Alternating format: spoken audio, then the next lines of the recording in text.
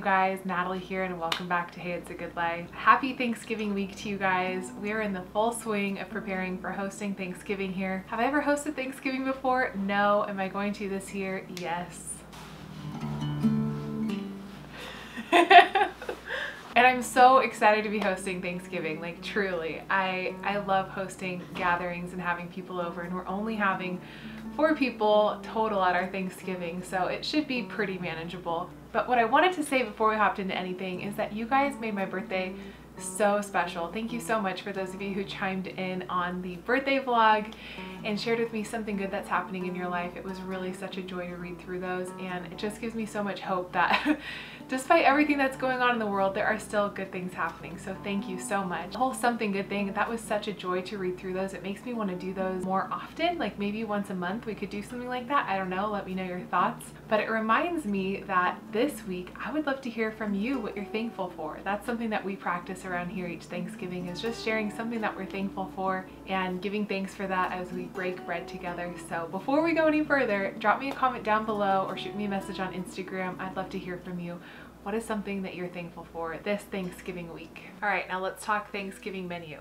I have it here, very official menu on my phone. Now I don't know about you guys, but there are like certain dishes that have just always been present each Thanksgiving meal over the years. And for me, now that I get to host Thanksgiving, I get to pick my favorites. So these are my favorites and this is what's on our menu. First off, my mom's green beans. Thank you, mom. Love you. Thank you for bringing those so that I don't have to cut them. so we've got green beans, garlic green beans in butter, creamed corn, which I don't know that I've found like a set recipe for that just yet. If you have a favorite recipe for creamed corn, definitely let me know. I've also got mashed potatoes, which I think I might be able to say that I have fully mastered at this point. They're so good. I love making them with real cream and butter and garlic, and they're delicious. What are mashed potatoes without gravy? Sweet potato casserole. Now that's actually Tommy's dish. He loves to make that. It is so tasty. It's got like a pecan crumble on top turkey. Now we're gonna talk about turkey in just a second because I actually have to pull it out and get started working on it. Pumpkin pie, which I've never made before, and pecan pie, which I have made before, but it's been a little while, so wish me luck. Speaking of food and cooking from scratch and all things food related, if you guys didn't know, this week GreenStalk is having a huge sale on all of their planters and you can get an additional $10 off when you use my code GOODLIFE at checkout.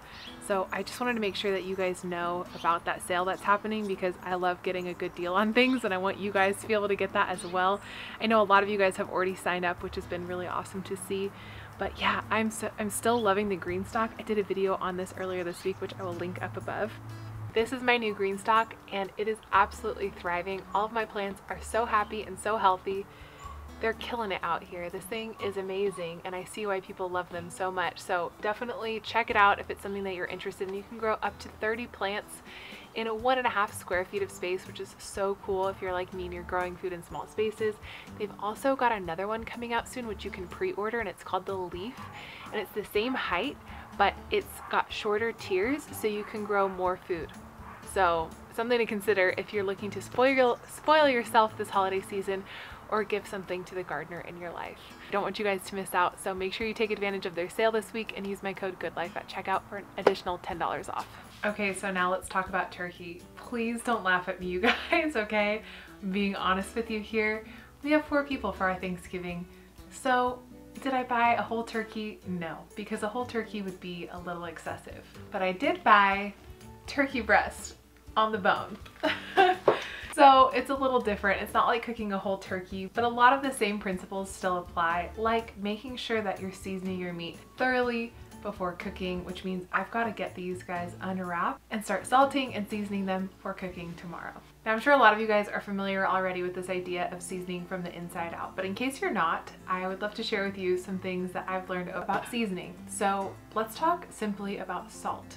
Salt is a really key ingredient when it comes to all things food because it actually enhances the flavor that is already within the food. If you've ever had bread, if you've ever made bread without salt, you know what I'm talking about. It really doesn't taste like anything, but the minute you add even just that teaspoon of salt, the entire thing transforms into something luxurious and wonderful. And salt is so essential for our health and for our food. So today I'm going to be pulling out these turkey breasts and salting them liberally and maybe adding a couple other fresh herbs and spices as well. Some things to remember about salt. Here we have kosher salt, table salt, flaky Maldon salt, and very fine sea salt. By salting these a day in advance, I'm allowing the salt to permeate through all of the protein and the protein structures and it's actually going to inhibit those protein structures from uncoiling too much and becoming tough. So when we cook protein, it actually changes the structure of the protein and it can actually become really tough. I'm sure a lot of us here have had really tough meat before. But when you add salt, you denature the proteins and you change their structure enough so that they don't change so much during the cooking process and thus they feel juicier and softer and not tough. Something like poultry, like these turkey breasts, you wanna make sure you're doing it at least a day in advance, which is why I'm pulling these out now and salting them today.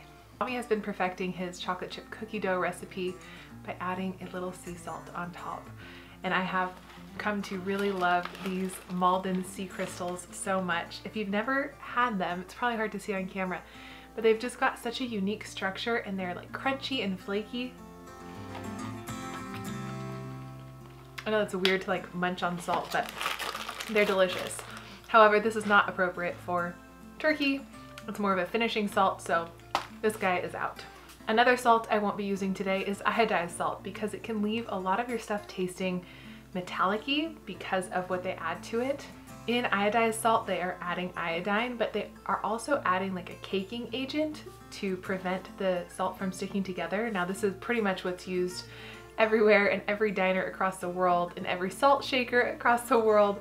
Like this is a very common form of salt these days and it was originally developed to help with thyroid issues and gout, but honestly we don't really need it anymore. Most of us do get enough iodine in our diets. I don't even know why I have this. This might have just been purchased in a pinch, but anyway, um, I won't be using this. I don't want this on my turkey and I don't want that metallic taste. So this guy is out, which leaves me with these two salt options. Now, I really enjoy using sea salt. However, you need more of it to do the job, if that makes sense. So because of its saltiness, this stuff, I tend to need to use more of it to get the same saltiness that I would get, say, from table salt or from kosher salt.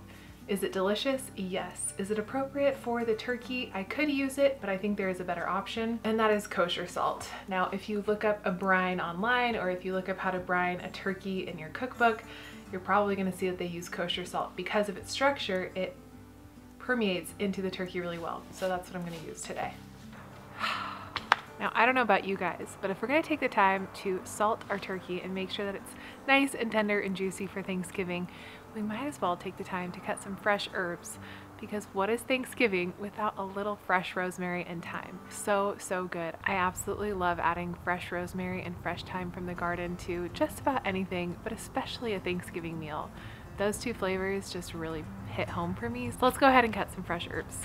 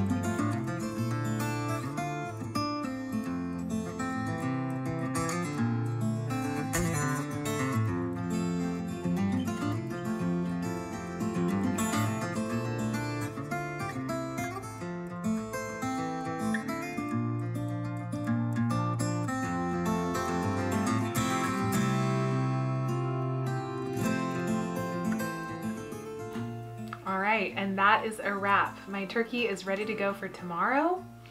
Hopefully that turns out nice and tender and juicy. If you guys have any turkey tips, definitely leave them in the comments down below. This will be my first time cooking turkey this way, but using the same principles of using salt to keep things tender and juicy, adding some fresh herbs in there. I think we're off to a really good start. And I think tomorrow when I throw this in the oven, we're gonna add some butter and some garlic as well. If you guys enjoy cooking videos, let me know. Uh, least a lot of you guys know, I would love to have my own cooking show or cooking series on here one day. But there's like a very specific way that I would wanna do it, which by the way, you guys were able to get me something really cool for my birthday. It's not here yet. I can't wait until it is. I get so excited just thinking about it, um, but it's going to make potentially a cooking show much more feasible, so long as the belly bump doesn't get too in the way. So we'll see, but I'd love to have a cooking show. If you guys enjoyed hanging out with me in the kitchen today, definitely let me know so I can make more videos like this for you guys. Now it is time to get this turkey in the fridge, marinating for Thanksgiving tomorrow.